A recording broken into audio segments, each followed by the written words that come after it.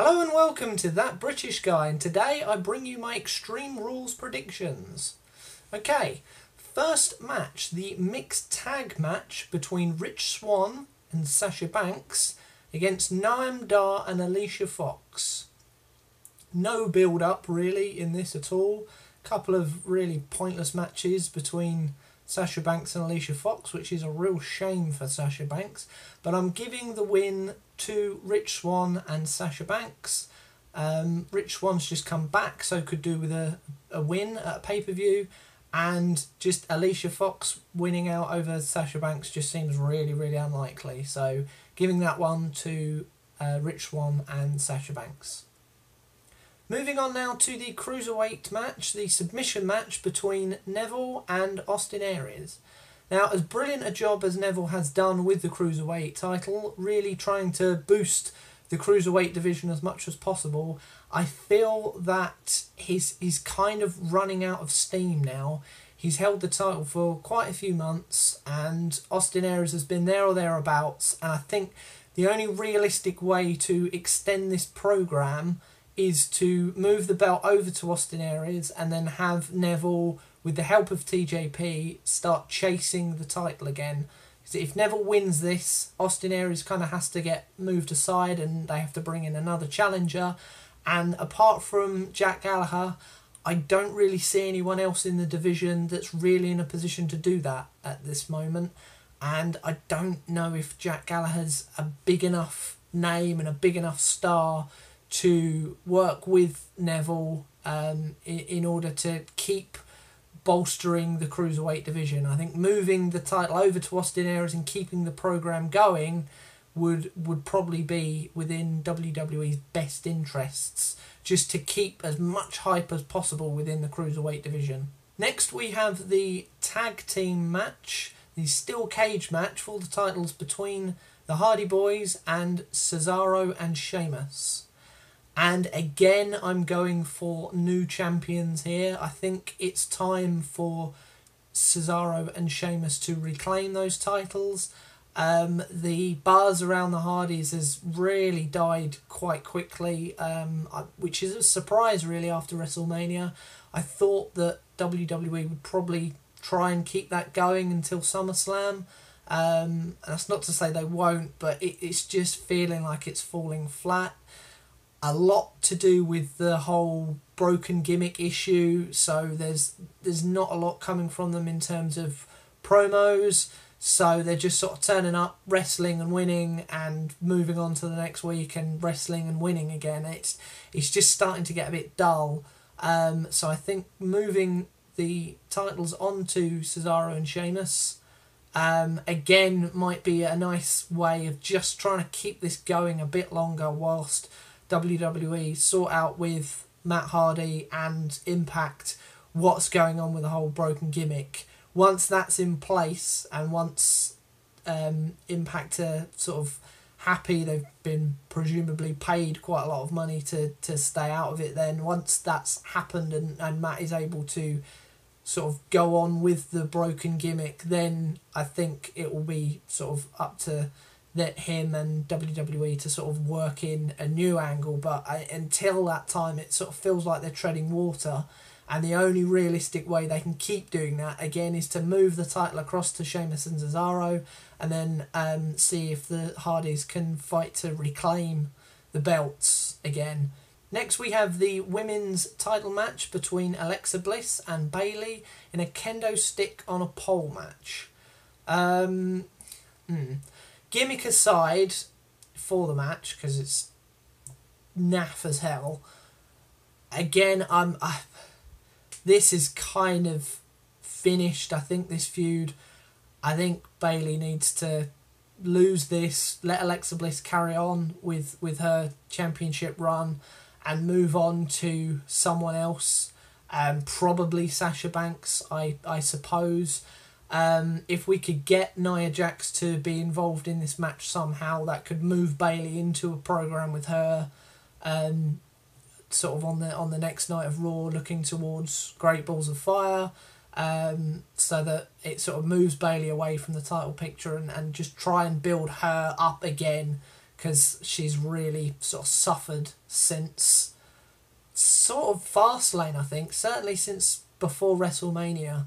Um, I think moving the title onto her before WrestleMania just it killed all the momentum that she had, and she's never really been able to sort of keep any of that energy going since then. So moving her away from this and, and giving Alexa Bliss a fresh challenge, giving Bayley a fresh opponent and a fresh feud would would be of benefit I think to both of them. So going for Alexa Bliss to retain in this one. Next we have the Intercontinental title match between Dean Ambrose and The Miz. And if Ambrose gets disqualified, he will lose the Intercontinental title.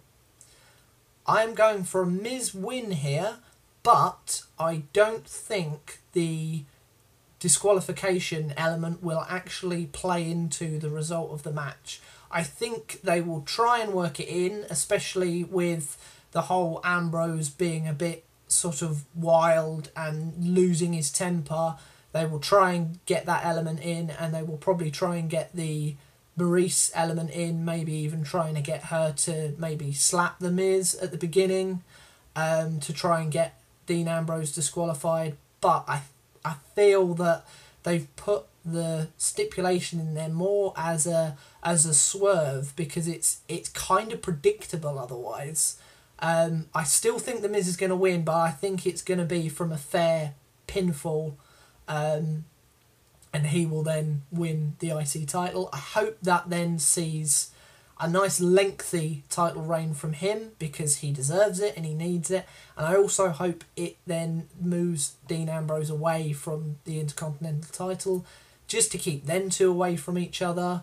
Um, it would just be nice for Miz to try and and do something like he did on SmackDown Live um, sort of last year with the IC title, just bringing the prestige of that up and beating opponent after opponent after opponent, ideally until at least sort of Survivor Series time, maybe even the Royal Rumble, just to really showcase the IC title belt, especially as the Universal title is not going to be on most episodes of Raw. It's only going to be on maybe every other pay per view. Um, so yeah, that that will just help grow the IC title. Um, if if Miz can win that and, and hold it for a nice nice lengthy title reign. Finally, we move on to the main event, the Extreme Rules Fatal Five Way match between Roman Reigns, Seth Rollins, Samoa Joe, Bray Wyatt, and Finn Balor. Right, Roman Reigns, no. Um, I think he's being kept away from everything um, purely because of WrestleMania 34. Chances are he might go back into his program with Braun Strowman once Braun Strowman has faced Brock Lesnar at SummerSlam. He might even be the one to cost um, Braun Strowman the title at SummerSlam. So I don't think it'll be Roman Reigns. Um, Samoa Joe, not really sure he's ready for a Universal title match yet. It doesn't really feel like he's done enough. Um, so I don't think it will be him. Bray Wyatt, again, I don't know if he's proven himself in the eyes of the Raw fans. Um, it's a shame because of how his WWE title run ended so quickly and so abruptly.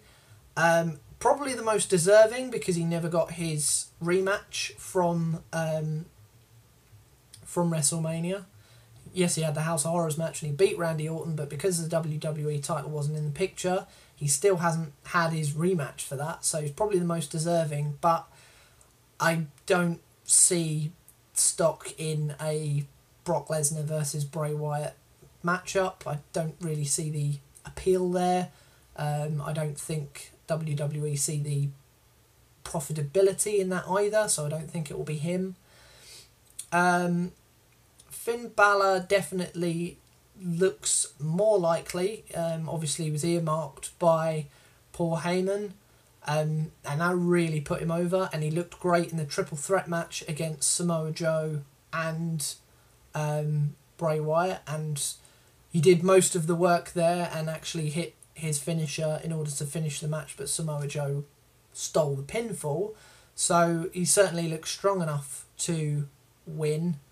Um, I have a feeling though that promo with Paul Heyman is probably planting the seeds for maybe Brock Lesnar's title feud after Braun Strowman, after um, SummerSlam, maybe leading in towards Survivor Series or um, or maybe just before, sort of between SummerSlam and, and before Survivor Series.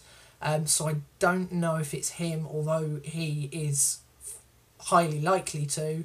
Um, but I'm going to give it to Seth Rollins purely because him with Samoa Joe feels like it's kind of run its course. Um, and it's still hanging on the whole Triple H angle, and it it just doesn't feel like that's going anywhere anymore, and it not really doing a lot for Samoa Joe either. So he could go, ideally, go and do something with someone else. Um, maybe even Roman Reigns going into Great Balls of Fire, and Finn Balor could go into a program with Bray Wyatt, um, like they teased um, about a month or so ago. Um, Seth Rollins against Brock Lesnar, we've seen it before, but there's there's still quite a lot of hype in it, um, especially a babyface Seth Rollins um, would would kind of lend a, a different aspect to the match. Um, and I don't think he'd be hurt too much by winning this, going to Great Balls of Fire and losing, and then kind of that feud finishing because Brock Lesnar is going towards Braun Strowman for SummerSlam. Um, and it means that then Seth Rollins can work into a program with somebody else. That person could even be involved in the build up to Seth Rollins and Brock Lesnar at Great Balls of Fire potentially, um, and lead him into that feud. I, I think he's probably got the he's got the least to lose by losing. If that makes sense, he's got the the least to lose by going into a very short program with Brock Lesnar, making the Universal title feel like it means something again after not seeing it since WrestleMania. Um, he can put on a great match against Brock Lesnar, um, come out shining even in defeat, um, and move on to somebody else for SummerSlam, maybe even Finn with the whole year since their first ever Universal title match. And that is my. They are my predictions for Extreme Rules. Um, please let me know if you agree with me, disagree with me. Tell me what you think um, in terms of who, who you think's going to win um, and why. And I will see you soon. Goodbye.